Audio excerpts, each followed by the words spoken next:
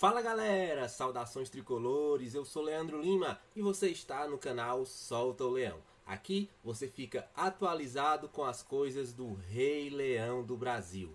E hoje tem jogo do Lion, galera tricolor. É o Fortaleza Esporte Clube defendendo a liderança e a invencibilidade na Copa Sul-Americana.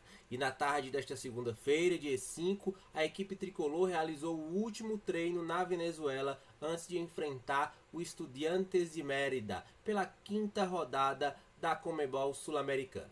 Caso Fortaleza vença ou empate, garante a vaga direta nas oitavas de final. A partida será realizada logo mais às 19 horas no estádio Metropolitano de Mérida. ESPN e Star Mais transmitem ao vivo o duelo.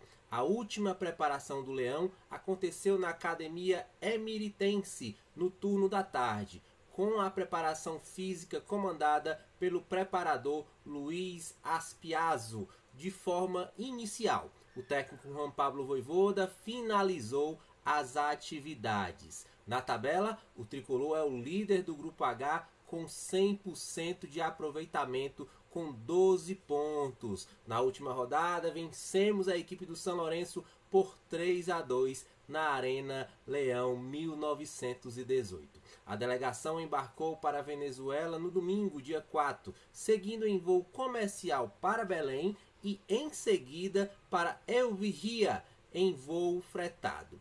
No período da noite, pegou um ônibus para Mérida.